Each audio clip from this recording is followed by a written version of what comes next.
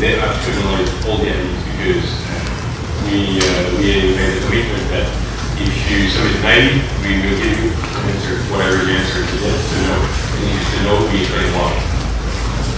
And the very good thing is that uh, all the all the students there that working for the project, uh, they they really love the, to work on it. At the beginning, they were a bit afraid because it was new that suddenly the orders were coming directly from the citizens. Uh, but actually, to show to the people that uh, they have really good skills and and, uh, it was a very good opportunity to show to the citizens that the administration uh, of Paris is, uh, is very good quality administration.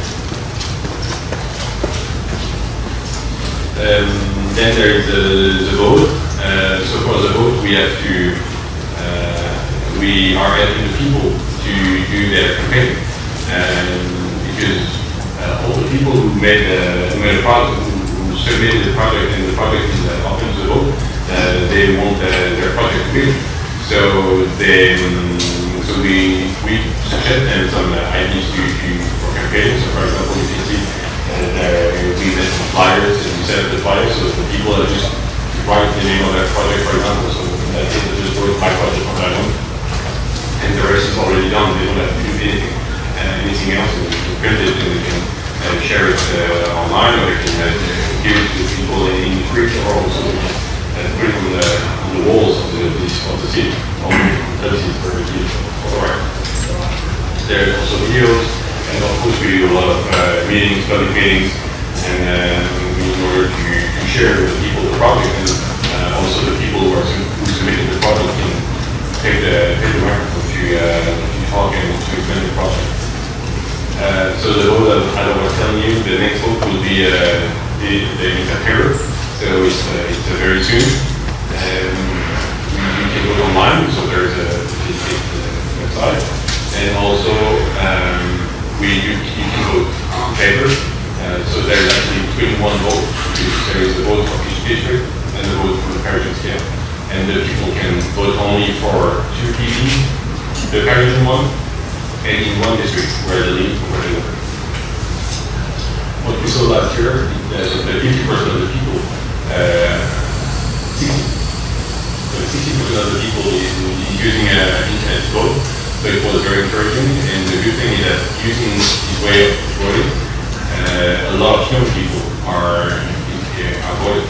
For example, 50% of the voters online uh, were between uh, 20 and 30 years old. It was very easy. I don't know, 10 years ago, age that nationally required. We just asked the people to come that they are Parisian, they are Parisian residents and we have only very few information. We have, if you look online, you have to keep your and you also have to keep your address in your map as. So some figures about, uh, about 2015, as you can see, so many IDs submitted by many people.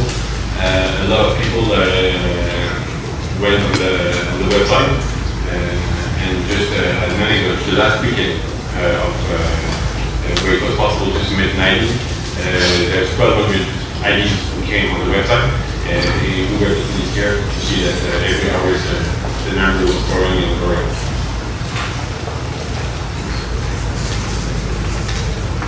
So can uh, other figures.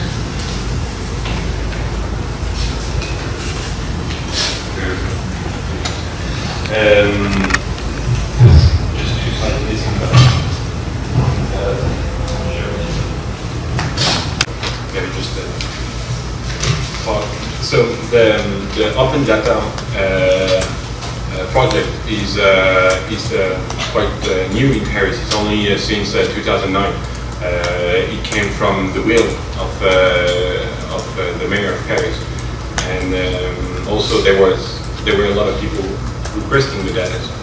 Um, and these people were mainly people involved in, uh, in startup, and they were uh, really interested by uh, our data.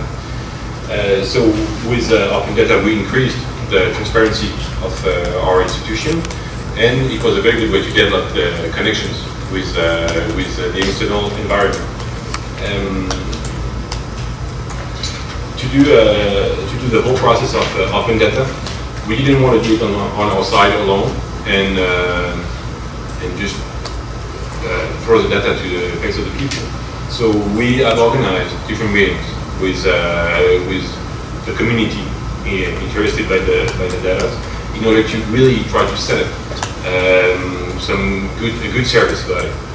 And, and also we we worked with them about the license. Uh, in France, there there was one license uh, which was uh, the state license, and it's really uh, liberal in a way that uh, this license, the state license, is giving the data, and then you can do whatever you want with. it. If you want to just get the data and sell it directly, it's possible. We didn't want that. We want that the spirit of the open source and open data uh, uh, remains. So we have created the first French uh, generic uh, license base uh, on open data, open database license called ODbL. So the goal of this of this license is really that if you take the data from the city of Paris and you enrich the data just using our data, you, it's mandatory to redistribute the data. Uh, if you add some intelligence and you use other people's data, so you don't have the, it's not mandatory anymore. So that means that if you have an economic model based on very specific uh, uh, enrichment, so we, you don't have to, to give the free answer. So some fact about the open data in Paris, we have uh, now uh, about 200 set of data. Uh, it's 5 million data lines. So it might not seem to be so much, but actually we are really working on the quality of our data. We don't want data with uh, a lot of errors and uh, it takes a, a, lot of time to really clean the data to be sure that uh, the data are good. And we have more than 120,000 downloads on our website. Um, and something that we noticed, which is very interesting, is that the first user of the data uh, are, is the city itself. Uh, from one department to another department, people were not communicating. They were not sharing the data. And now, uh, from when you are in a department, you can see directly on the website the data of the other department. So we are the first user of our own data. Um, we could uh, count around uh, 50 uh, other reuse of data and new services which are delivered by, by startup or new apps and databases. The platform to for the data, maybe we can, maybe you can show it. Uh, the, the platform for the for the data uh, we first set up, we just launched a, first um,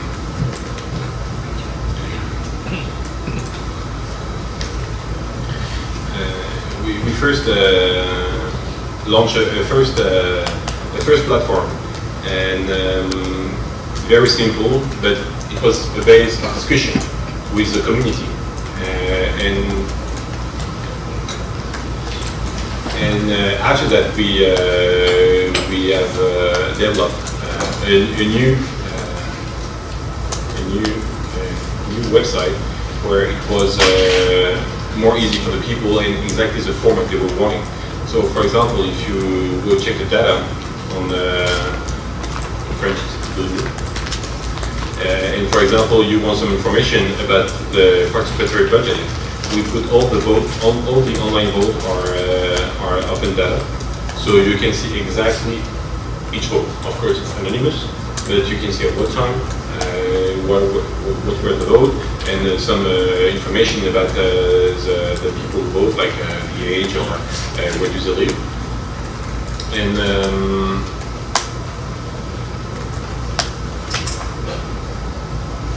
and and we uh, we pay very attention also to the um, the export so we have a different format of export. There's CSV, uh, JSON, and Excel, uh, and it, it, uh, that is the, the format uh, which are which is requested uh, most of the time by the by the people. And uh, we had a discussion with the NDC NDC. NDC, the National Development Council, um, and we could see that we both had the, the same. Uh, Uh, but um, I to admit something that it's still new for us, and really we really have to put it into uh, people's mind uh, um, inside the administration. So really, it's a work in progress. Uh, we consider that we made a first step, but we can do better, and uh, I'm sure that that kind of exchange and uh, talking with uh, other other cities and um, and the people involved in the, the, data process in the civil society can help us to, to do even more. we really don't think that um, on the political level, we really don't think that open data is bad or is just uh, loss of time. Uh, we consider that uh, with data, we can create new service and uh, and some company company can be created and there's a lot of startups which are very interested uh, by uh, by our data. maybe just some very inform quite quick information.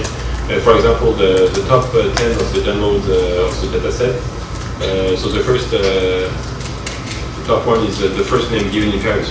So we have you have all the statistics about the, the names uh, given in Paris for the for the newborn.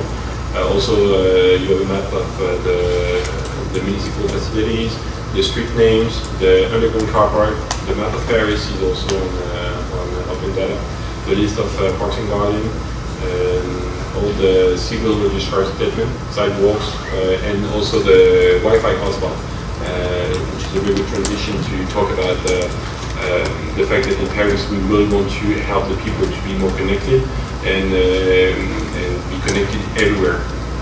So um, we are developing uh, a, a, really uh, wide uh, grid of Wi-Fi hotspot in the city.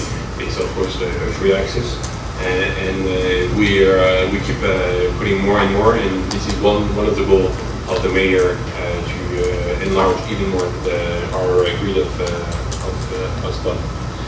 Um, maybe just a very quick, few words about different um, different initiatives that we have to um, to develop the e-democracy, e-participation. So, for example, uh, we have a, we launched a platform which is named Madame la Maire j'ai une idée, uh, Miss Mayor Academy. Uh, and so we organize campaign.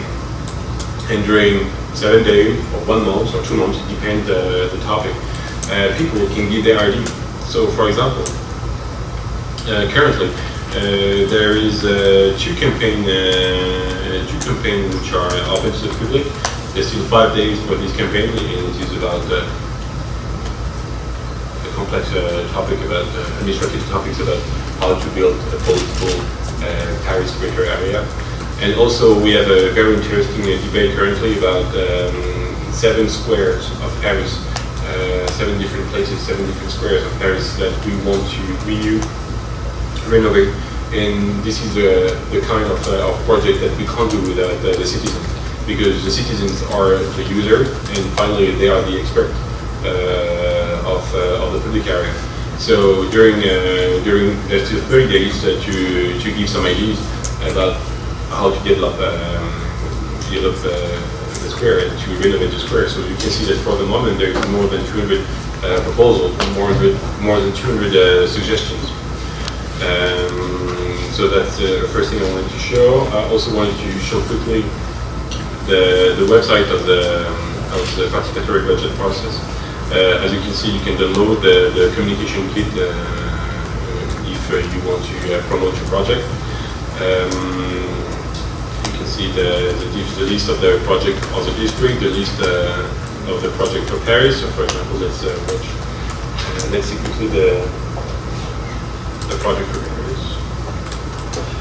Yeah. So, um,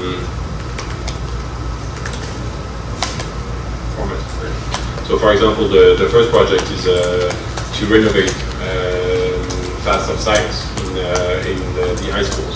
Uh, because, I don't know how it is in Taiwan, but in, in France, uh, when you learn physics and chemistry, we have a specific uh, dedicated room for that where you can do experiments. And, uh, and we have to admit that some of them are a bit old and uh, it would be nice to renovate them. At least it's an idea from the Parisian. So you can see that this project uh, is the project of uh, 3 million and 700,000 euro to uh, renovate these rooms. Um, another another project. Uh, so that might be interesting also. Uh, in, uh, in Paris, we have an application which is very useful, which called In My Street, dans ma rue. And uh, this is a this is an application, uh, of course, free. And when you see something weird or not correct in the street, you can just localize the problem, take a picture, and let you words. And so the administration can uh, take that into account. So, for example, if you see uh, somewhere that uh, there is a, a light bulb uh, which is which is broken or there is a problem of the street light, so you can just take a picture. It be maybe a bit dark, but you take a picture. You just set up your pin on the on the map, and uh, you let the, you let the note to the civil servant, and that way the administration is more efficient uh, thanks to the, the help of the people. Uh, another project that maybe you, you might like uh, is 3D Paris in 3D uh, and open source. that would be a project where we would make a 3D mapping of Paris and uh, so people could download it. And for example, if you want to develop the, a video game inside Paris where you have to follow somebody or to shoot somebody or to love somebody in Paris, uh, you can uh, you can develop your, your game and at least there all the all Paris will be already made for you. So this is uh, the website of the uh, participatory budget. Uh, also, we try to be active on on Twitter and Facebook. So there is the Twitter and Facebook of the city of Paris and also the Twitter and Facebook of the mayor of Paris. Um, first, the honor the mayor. she um, she has on Twitter uh, 110,000 followers.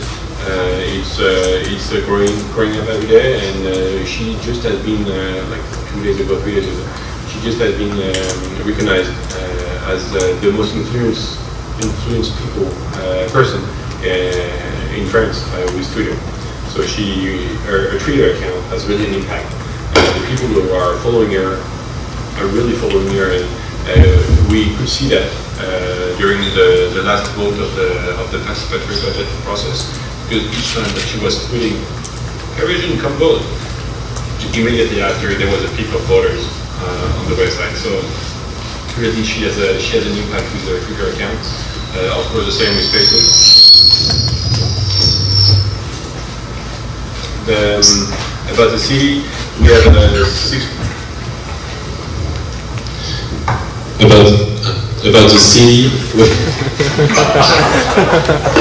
you didn't hear anything until now? well? okay. Um, yeah, change. Uh, so the, the Facebook of the city uh, is uh, is followed by uh, 6.7 million people. So of course it's not only Parisian because Paris has 2.2 million inhabitants, but it's a good way to to give some information to Parisian, but also to to share nice moments of Paris with a very large community. Uh, on Twitter we have uh, six uh, 600,000 followers, um, and uh, it's also an account which is very used and the community manager of the city has a lot of work, believe me. We also want to have a good dialogue with the people and through through the social media. So on, on the website of the City of Paris, you can ask a question directly, and uh, there, there is a team which is dedicated to that. So uh, instead of calling the city, you can just let an email, and normally in less than 20, in 48 hours you will have an answer. And if you use um, the Twitter account made dedicated to that, uh, it's an account called uh, Paris I'm um, you should have an answer in less than 24 hours. Maybe just a, so this is the Twitter account of Paris. You can see that there's there are some information. Uh, Here, this is the last picture of, uh, because the 25th of, uh, of August was uh, anniversary of the liberation of Paris. So you can see here that uh, 22 hours ago, uh, the city of Paris was promoting the, uh, the campaign to, to change the, the square of Paris. So you can see the, the Twitter account is quite active. On the website uh, of uh, the, city of Paris, you can see here, Paris uh, you can see that the, quiz, the question that the people ask and uh, we share the question and the answers. Uh, it can be always useful. So, for example, that there was a person who was asking that she wants to uh, give her carton box empty, but she doesn't know what to do, and so the answer is that you just have to bring them at a specific place Um, this is uh, mainly the the activities that uh, that we have in order to establish a, a relationship uh, with a citizen. And of course, if you have any idea, they're more than welcome. Thank you. 谢谢朱远。那 废话不多说，我们就直接介绍下一位哦。下一位讲者是呃，大家熟悉的台北市吗。